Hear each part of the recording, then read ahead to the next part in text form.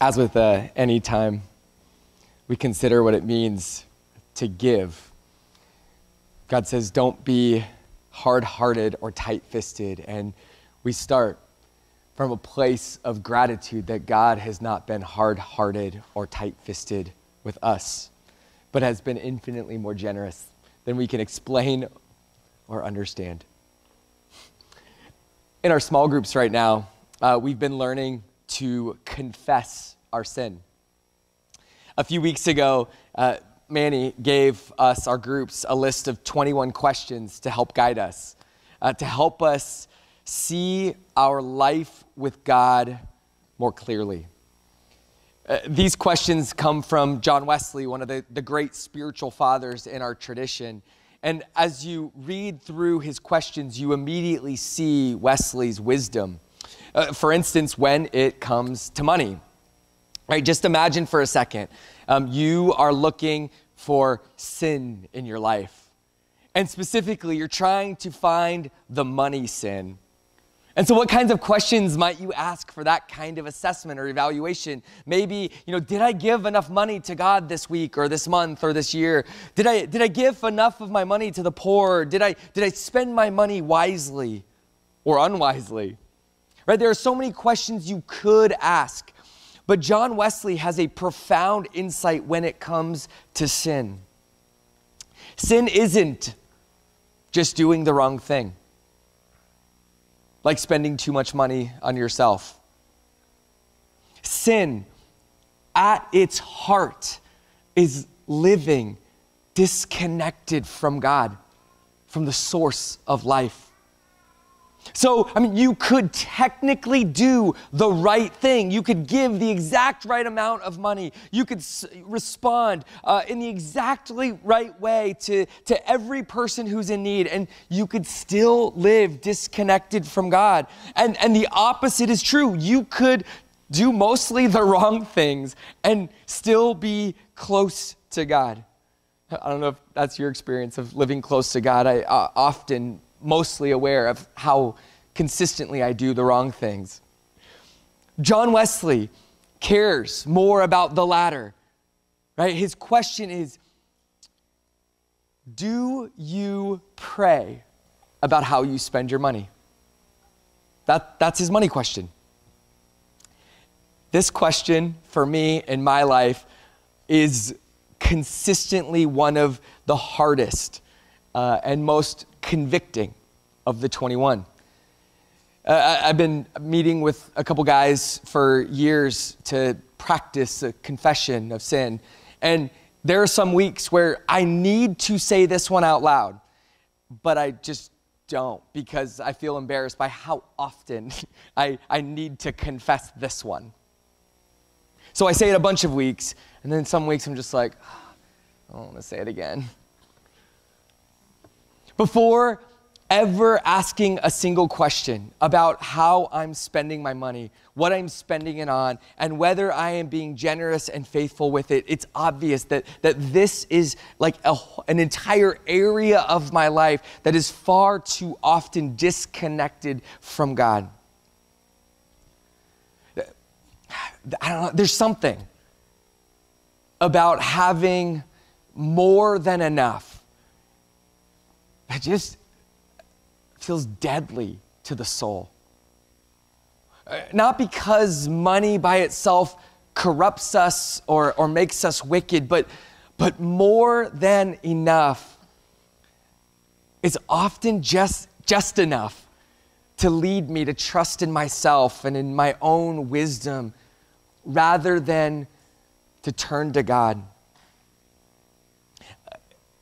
It should be obvious by now after Ali's reading and this intro that we're talking about money this morning. And every time I prepare a sermon about money, I worry about all of the people I know who have told me that they don't go to church because it seems like all pastors ever talk about is money. And I have this terrifying nightmare, recurring nightmare, that it would, that it would be a Sunday like this morning when all of them show up at the same time. But I have to talk about money, but at least I get to talk about it from one of my favorite passages in the entire Bible. That might seem weird, but the passage that Ali read this morning is one of my favorites.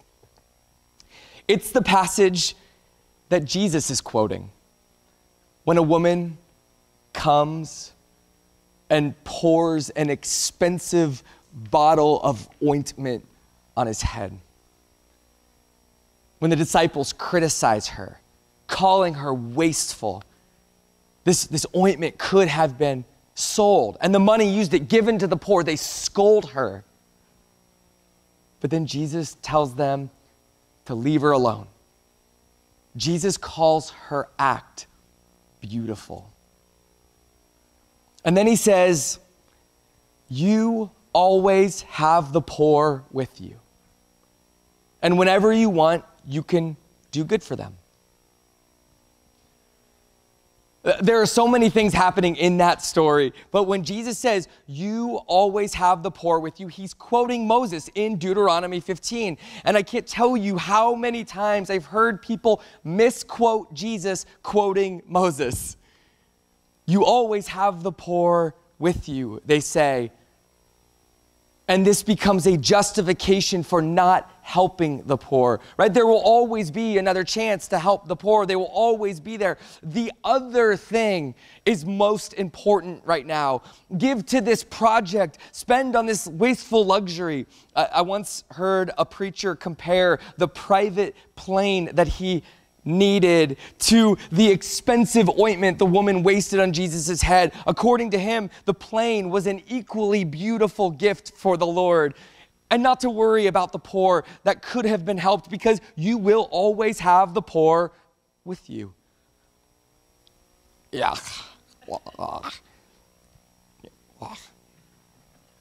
Right? So is, it, is that really what Jesus meant? Is this what Moses meant? And maybe you already noticed during our reading earlier that while Moses did say, There will never cease to be poor in the land, he also said, just a few verses earlier, There will be no poor among you. So, which is it, right? Is, is Moses confused? Did he accidentally strike himself with his own staff in the head? Will there be or won't there be? That is the question. And the answer is surprisingly simple. Moses says God's blessing will be abundant and more than enough for the people if only you will strictly obey the voice of Yahweh your God, being careful to do all this commandment that I command you today. And what is Moses commanding? Well, there are actually four commands that we just heard uh, Ali read for us. First, the Israelites are to bring a tenth of everything they produce to God. Um, at, at the end of each of their harvests, they're to bring 10% to the temple, and as well as any firstborn animals born to them should also be brought to the temple. And there at the temple, they should be given to God, but also, just got something stuck in my throat. Sorry.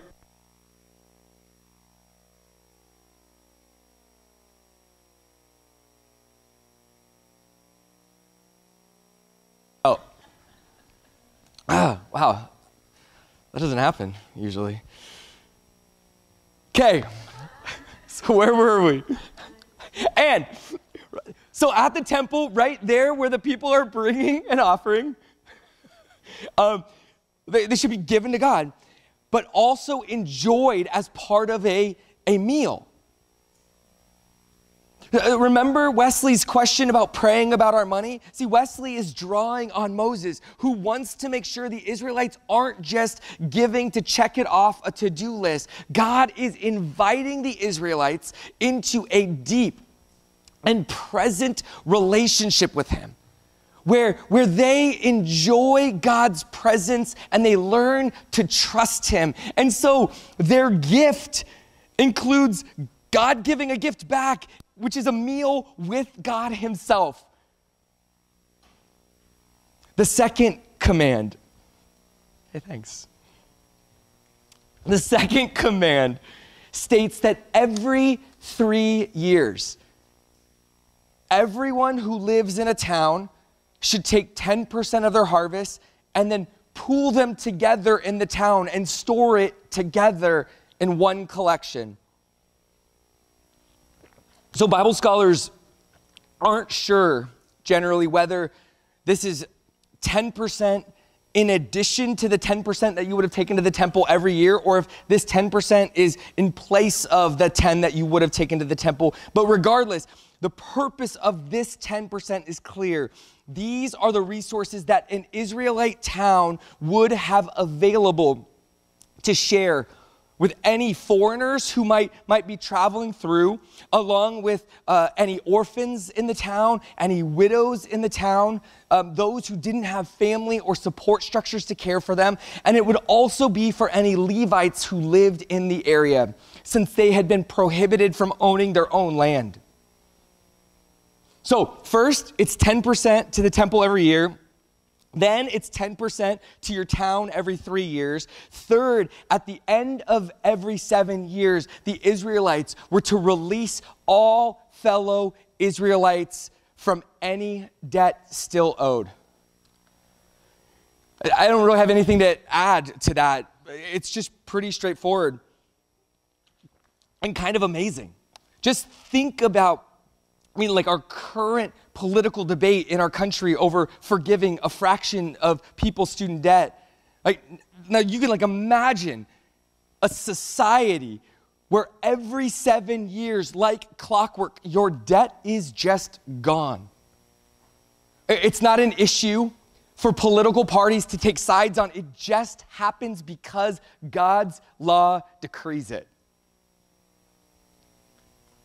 The fourth command is a fascinating follow up to the third because the fourth command has Moses explicitly telling the Israelites that if a fellow Israelite comes upon hard times, becoming poor, then they shall lend to him enough to meet his need, whatever it may be. Notice how the fourth and third work together. Moses anticipates the exact thing that people are going to think that after they are required to forgive all debts every seven years, which is he is saying the quiet part out loud for us.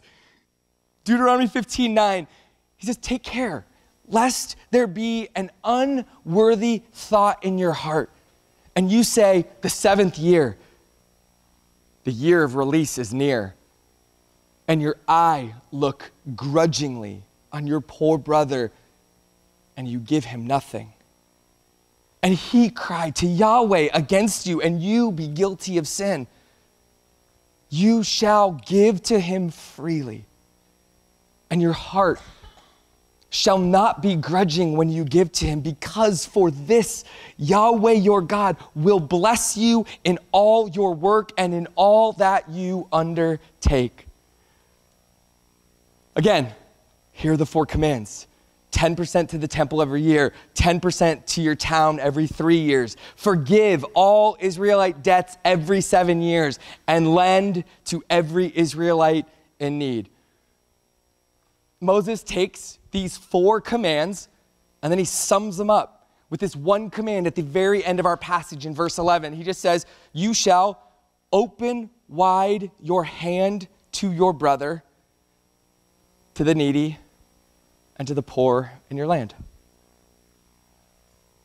If you do this, Moses says, there will be no poor among you. There will be more than enough. You all will live blessed lives in the blessing of God.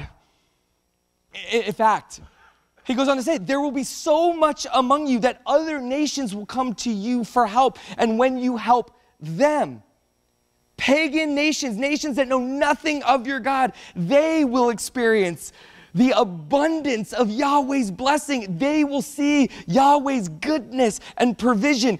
If you do this, Yahweh or the world will know your God. Now, this is a massive if. And Moses has spent too much time with these people. He knows which way this is going to go. He lays out the path of life in front of them, but then makes clear the path that he knows that they are going to take. And he says, There will never cease to be poor among you. Which brings us back to Jesus, quoting Moses.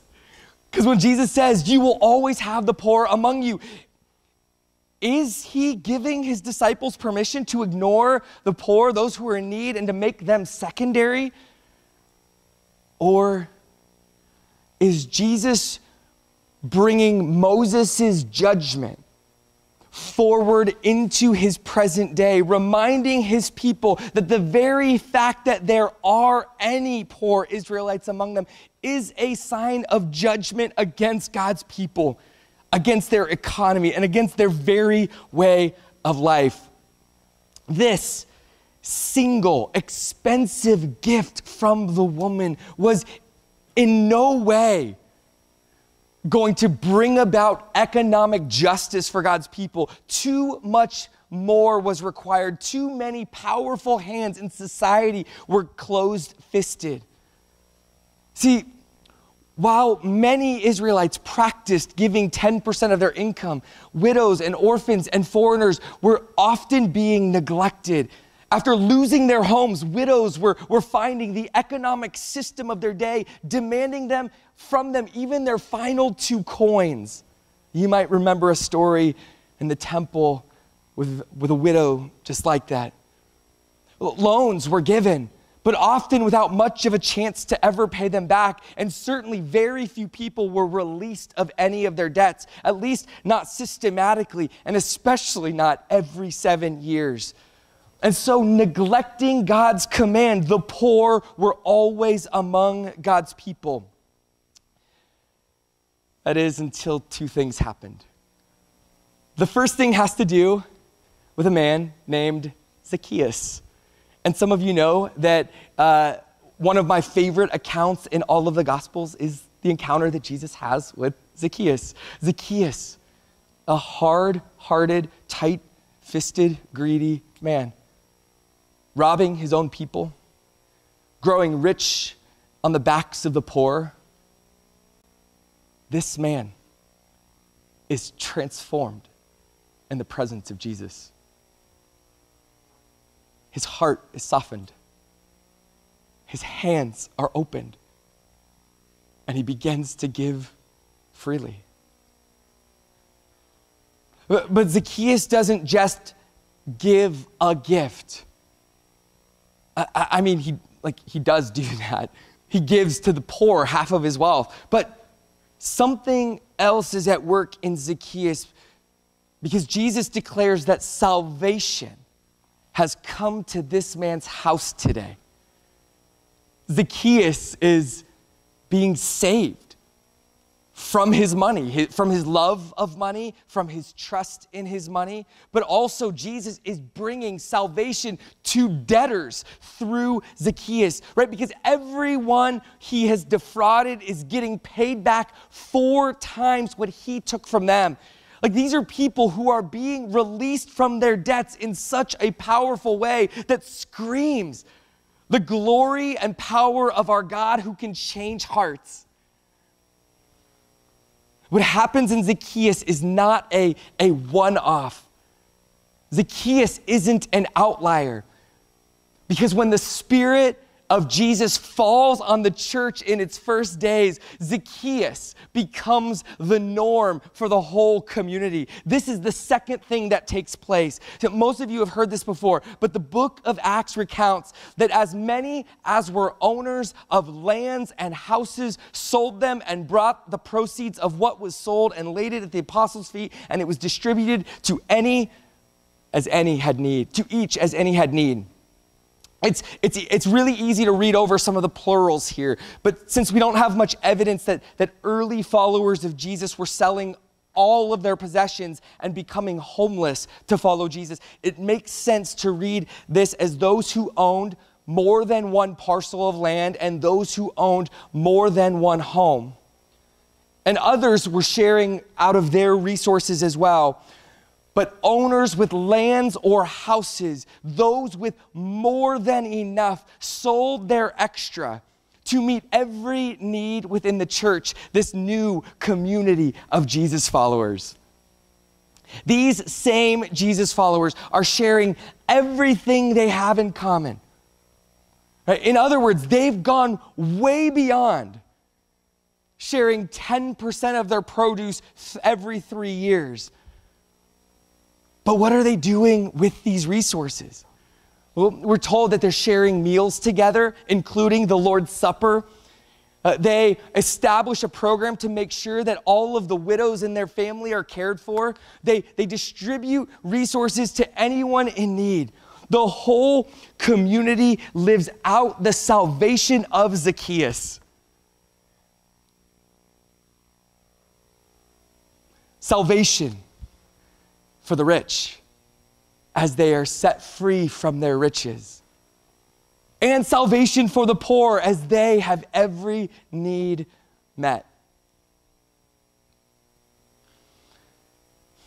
If all you know is Jesus saying, You will always have the poor among you, then you will be completely and utterly shocked when the book of Acts declares there was not a needy person among them. But if you have Deuteronomy 15, in the thoughts of your heart and you know the power of God to save us from our sins, then it shouldn't surprise you at all when Acts declares this. This was God's plan from the beginning. And in Jesus, it comes to pass and becomes a reality. Now, the early church doesn't follow Deuteronomy to the letter of the law. Instead, the church filled with the Spirit of God, committed to prayer and practicing wise discernment together as a community. They figure out how to put the four commands of Deuteronomy 15 into practice in a new day, capturing in their lives the spirit of the law the law of love as they live it out in a radically new way. This is what God wants to do in us and through us. And so, may salvation come to this house today. May our hearts of stone be replaced with hearts of flesh, open and soft. May closed fists be opened to those in need. May grudging gifts be replaced with joyful giving. And may it be said that there was no one in need in God's family. Will you pray today about how you, how we will spend the money that God has given us?